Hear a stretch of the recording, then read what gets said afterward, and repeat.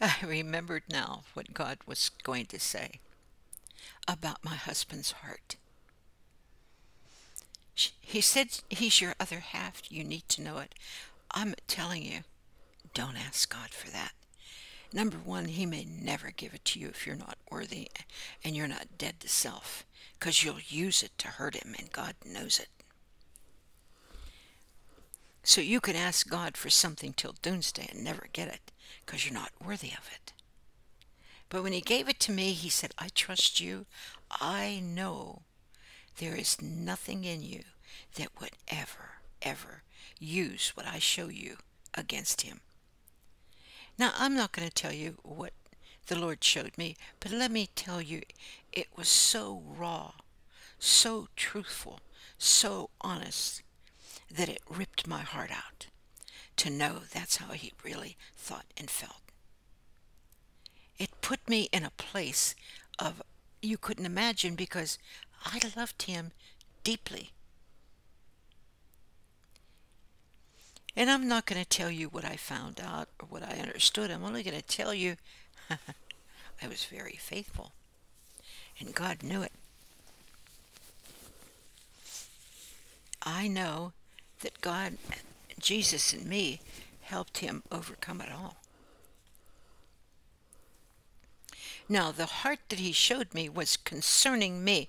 It wasn't about how he thought about this, that, because that is private between him and God. It's, it's not what he wants to give me. That's between him and God, and I respect that. I don't cross over that. I don't cross over and make him me. But the part that affects me, touches me, hurts me, that's the part he gave me.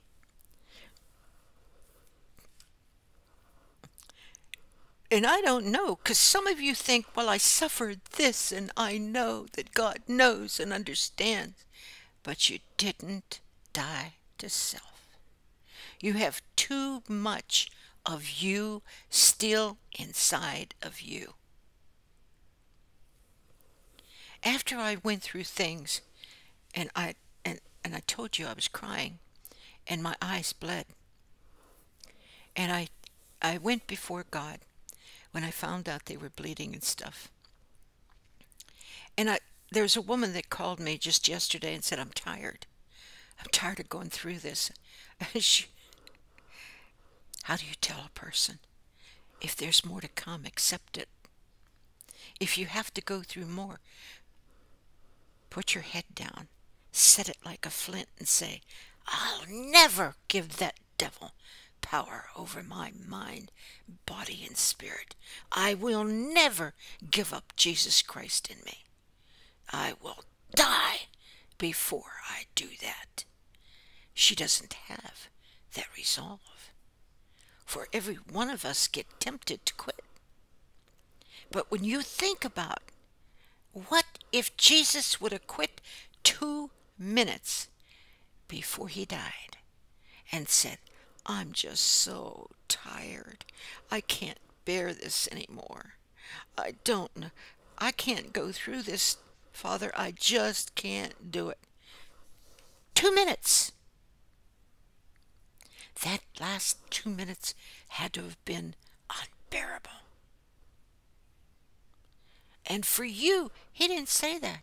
For you, he endured to the end and said, It is finished. He defeated the devil. He defeated death. He defeated hell. He defeated every single bit that anybody can go through. Every single bit that the devil threw at him, he defeated it. How? by dying to self, because whenever he was dying, he was looking at you. Whenever he was dying, he was looking at me. Now just understand that power of endurance, that power of resurrection, when you let it live inside of you, there's not anything you can't take. There's not anything you can't endure. without being afraid. you he says he gives you peace beyond all understanding. He says if you can't control this and you get upset and use your mouth for this and use your mouth, there's a thing called standing up and not letting people make you a mop rag. That when God tells you to speak, you speak. But there's also a thing where you'll try to speak out of the flesh. Don't do it. You hinder your spirit doing what God wants it to do. I know that what what I went through was simply that I could tell you how God led me out of it, what He taught me. For me. I'm already through it. I've already made it. I don't need it. I don't need you to like me, want me, do anything with me. I don't need anything about you. I'm not here for me. I'm here for you. And that's the difference between a true child of God teaching the truth and those that do it for money, advantage of being admired, all of those different reasons that people say they're called. Wanting to be a prophet and have the answers they think to everything, so that's what they seek. Wanting to have all the knowledge, so that's what they seek. But where? Where did they seek him? Because they love him. Where? Where did they seek him? Because he's the most precious in the whole world and then some. Where? Where did you want to know how he thought about this? How he felt about that? What's his favorite color? What's his favorite anything? Did you search him out to just know him? And I'm not talking about silly little things like that's just an example. But to know him, to walk with him and talk with him. Oh, the way women are told you can't have that relationship without a man. Well, tell that when you get into eternity and you stand before God and God tells you, Why did you destroy my handmaiden's relationship with my son? Why did you tell them that you're so great as a man and men are so great that they need you as a mediator? Why did you deny Jesus Christ as a mediator and tell them they can't have God? Why did you deny the blood that says anybody man, woman, child can find Jesus Christ through the blood of Jesus Christ. But you denied him. Why? Why would you do such a thing? What did you do when my servant I sent her to tell you? What did you do? Did you laugh her to scorn like others did? Did you mock her and make laugh at her because you know that Bible from beginning to end? And God never called a woman. Oh, foolish people.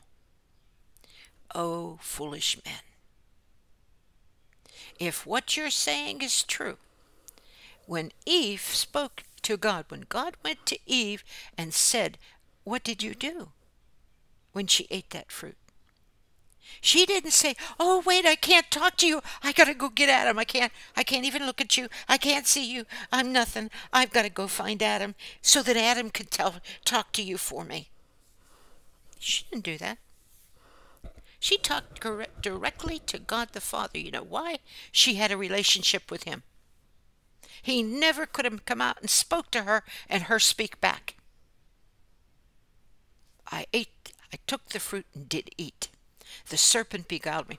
She's talking to God. He's talking back to her. But you say, no woman can. Now, and you know that that relationship with God, that He created man so He could have a, a, relationship with someone who is like Him. That's why man was created in His image.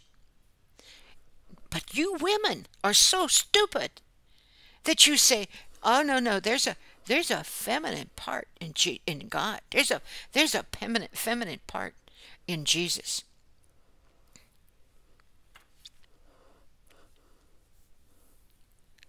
When God created man, Adam, he took him out of the dust of the ground. And then he breathed the Holy Spirit in his nostrils and made a living soul who walked and talked with him in the garden.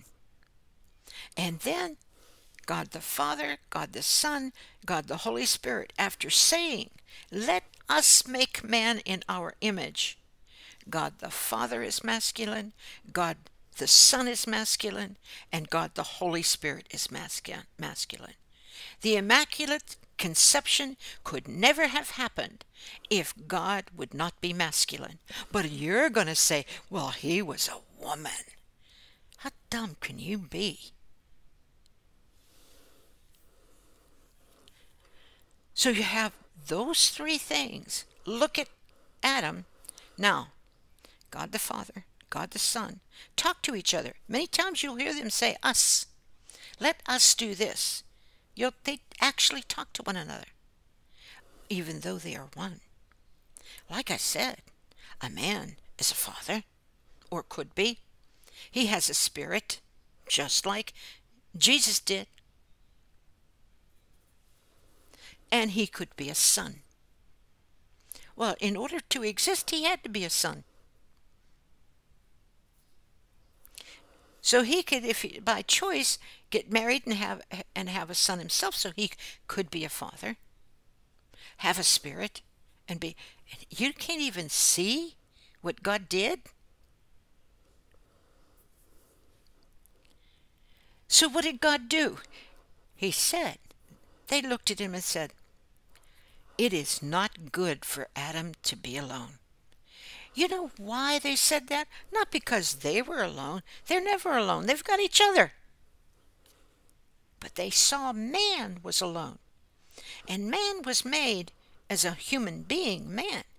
And so God says, well, we'll send him a helpmate. He needs a helpmate. So he took the rib out of Adam and made a woman. Now, this is a separate human being they are not attached, they're separate. This is a human being that walked and talked with God, with Adam now. So much so that she can talk to him in her disobedience. But you're going to say, oh no, that's not true.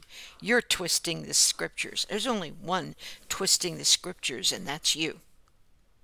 And you know, all of you foolish followers that believe that Jesus got married, wake up. Wake up. The Immaculate, when God overshadowed Mary, if he wanted to, he would have used, used a man or an angel. Because God the Father has come down to earth as an angel. He could have done that. But you see, he would have been the same kind of angel the dark angels are. And the baby would have been a monster just like their babies were. He would never do that. So he overshadowed her. But you say, well, you know, God sent his son to die for the world. And what do you say? Well, his son got married. No, he did not. He was as celibate as he could be. And you trash him because you look at yourself in the mirror and say, I got it all. I'm so smart. Why, God told me this, God told me that. And I know this scripture means this as you twist it and take it out of context. And this scripture over here, you see it, means that. And you twist it because your knowledge is so great that you can fool people and deceive them with the amount of knowledge that you have. And then you have these foolish women that have walked and talked with Jesus Christ, and you come and say, oh, I'm going to show you in the scriptures where you didn't. You had no relationship with God. And I'm going to tell you how. Satan is after you through the angels. You better be afraid. The angels are after you. As though he wasn't after you as a man. Take a look at homosexuality. How do you think all that happened? He lusted after some of the best looking men on this earth are homosexual. Why? Because what attracted the dark angels was the beauty of the women.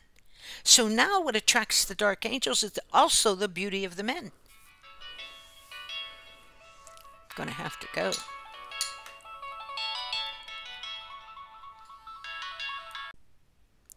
If you listen to the simplicity of God meaning what he said, and and we're not talking about anything else but what he did and said in the Old Testament.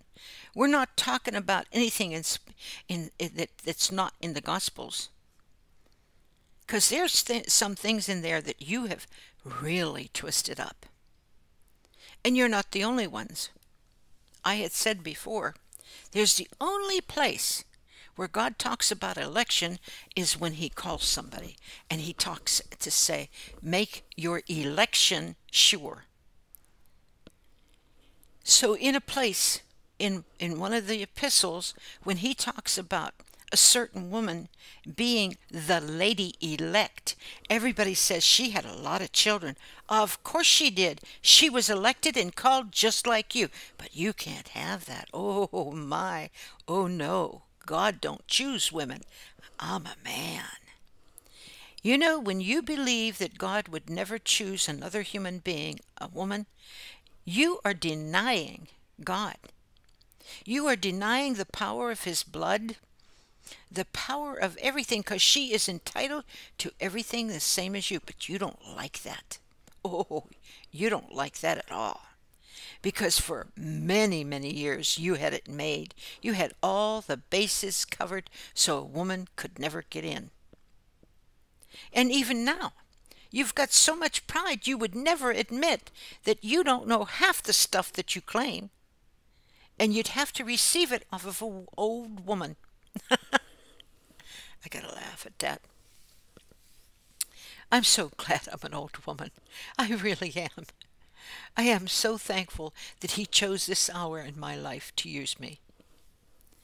It, it feels so good because nobody could twist it up and say, I'm thinking this, I'm doing that, or I'm chasing after their husband. nobody can do that. Nobody can look at me and become jealous. Nobody could find anything. I feel so much like Jesus. Jesus, there is nothing about his appearance that you would desire or want. And I love that. I love that. Oh, that makes me so happy. I love what he created. I loved what he did with me. He he could have done a million things, but he chose this. so thank you, Lord. Anyway, we'll go on to a more serious subject. If these people would even come to a place where they would go before God and say, you know what, Lord, maybe, you know, just like the disciples, they said, when, when the Lord said, one of you will betray me, they all said, and it's in one of the Gospels, they all said, not one, not two, all, is it I, Lord? That's the attitude God wants from you. Is it I, Lord? Did I do that? But you have to receive peace when God tells you you didn't. Some of you won't receive the peace and the rest when God reveals to you, no, you're not doing that. You won't listen. You think as long as you beat on yourself, everything's going to be okay because you, you that's all you know.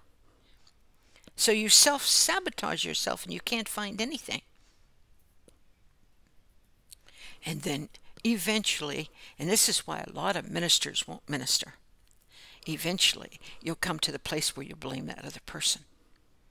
I couldn't find it because they promised me I could find it and I didn't. Well, you see, I promise you nothing. I tell you, get into the Word and find Jesus Christ.